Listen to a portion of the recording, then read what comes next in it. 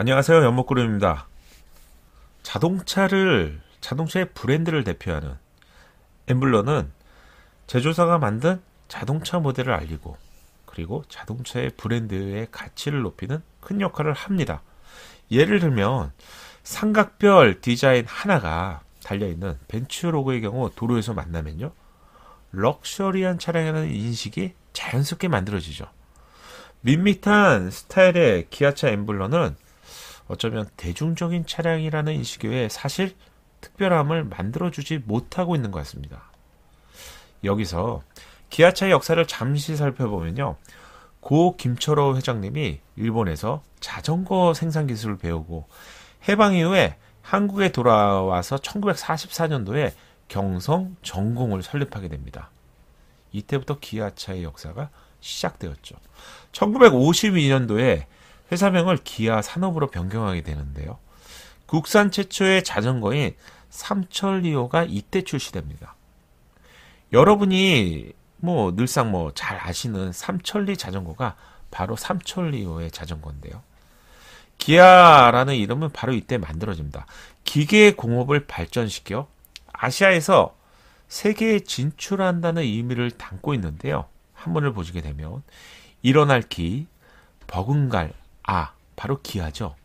기아라는 이 두 글자가 합쳐서 생성된 이름이 현재까지도 사용되고 있습니다.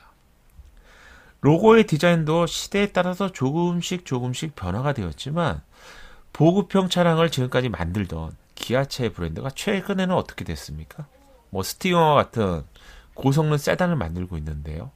고성능이라는 인식의 변화에 맞춰서 글로벌 자동차 시장에 새로운 인식을 심어주기 위해서 새로운 엠블럼이 필요한 상황이라고 할 수 있습니다. 그래서 연목구름이 직접 기아차 엠블럼과 관련된 뭐 글로벌과 국내 반응을 찾아보기 위해서요.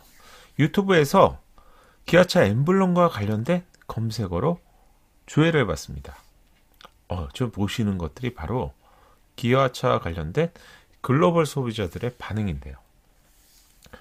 예상보다 어마어마한 불만성 영상이 검색되었습니다. 아, 설마 이런 것까지 유튜브에서 검색이 될지 사실 몰랐거든요. 검색 상위에 등록된 콘텐츠 중에서요, 뭐 최상위 검색어들은 뭐 132만 건의 높은 조회수를 기록하고 있었고요. 또한 해외 소비자들도 기아차 엠블럼을 직접 뭐 교체하는 이런 콘텐츠가 무려 10만 건이 넘었습니다. 그래서요. 음, 어쩌면 뭐 해외뿐만 아니라 국내에서도 이런 뭐 불만들은 더 많겠죠. 그래서 국내 포털을 대표하는 뭐 네이버와 다음 쪽에서도 비슷한 키워드를 이용해서 검색을 하게 되었는데요.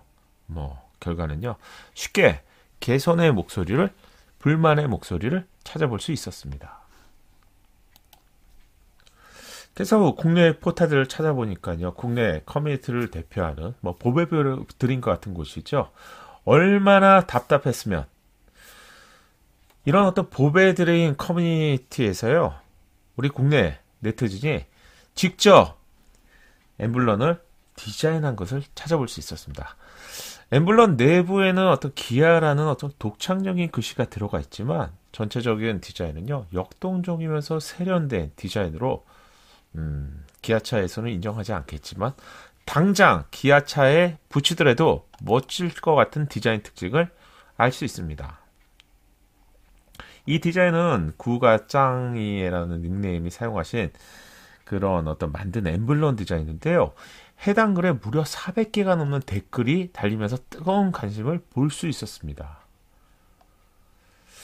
이분께서는 직접 이어서 어떤 디자인에 이런 엠블럼을 붙인 사례들을 볼 수 있는데요. 여러분 보시기에 어떠세요?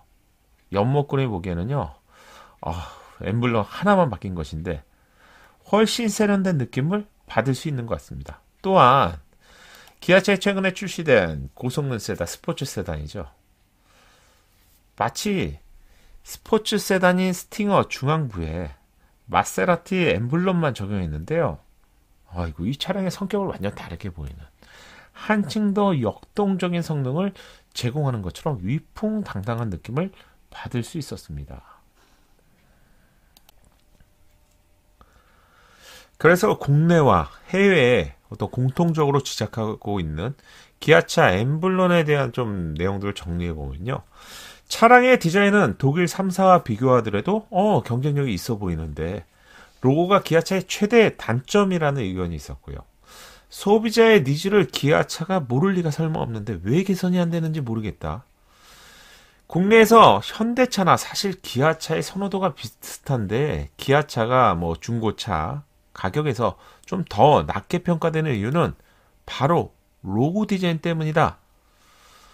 기아차의 로고만 변경되더라도 기아차의 뭐 영업이익과 매출이 훨씬 올라갈 것 같다 이런 의견도 있었고요. 로고 때문에 난 기아차를 구입하지 않을 것 같아 이런 의견도 있었습니다. 기아차 로고와 관련되는 어떤 네티즌의 공통적인 의견은 좀 아쉽다. 디자인이 개선되었으면 좋겠다는 것이 공통적인 반응이라고 볼 수 있습니다. 어쩌면 한 번쯤 진지하게 고민해 봐도 좋은 그런 시기가 아닐까요? 2006년도에 기아차의 영업이, 영입이 되었던 기아차 디자인을 완전히 바꿔놨죠. 환골탈태시킨 피터 슈라이어의 경우는요, 호랑이 코 그릴을 대표하는 기아차의 시그니처를 만들었습니다. 그는요, Design is Kia였죠. 디자인은 그 기아라는 캐치프레이즈를 앞세워서 뭐 좋은 디자인 또 그는 이런 말을 했습니다. 사람들이 갖기를 원하는 그런 디자인을 만드는 것이 디자인이다. 상당히 좋은 말 같은데요. 과거의 기아차는 대중적인 브랜드로 뭐 사실 대중적인 브랜드, 보급형 브랜드라 자체가 특별함이 필요 없는 그런 강조할 필요성이 없는 그런 브랜드였다며 지금은 스팅어 같은 고성능 차량으로 좀 변신을 시도하는 그런 식인데요. 고성능 자동차 브랜드로 인식을 전환하고 기아차에게 필요한 것이 어쩌면 전 세계 어디에서나 기아차를 딱 도로에서 만났을 때, 어우, 이 차량은 정말 특별한 기아차구나. 이런 것을 알 수, 알아볼 수 있도록 새로운 디자인의 로고가 필요한 시점이라고 생각합니다. 현재의 기아차 로고가 음, 비록 심플해서 인식하기에 좋았다면 브랜드의 가치와 그 새로운 인식 변화, 고성능이겠죠. 그리고 고성능만의 브랜드를 알리기 위한 새로운 엠블런이 필요한 시기라고 연목그룹은 생각합니다. 도로에서 자동차를 만나면 멀리에서 보더라도 바로 알아볼 수 있는 게 바로 대표성을 가진 로고, 즉 엠블런이라고 연목그룹과 많은 사람들 생각하실 것 같은데요.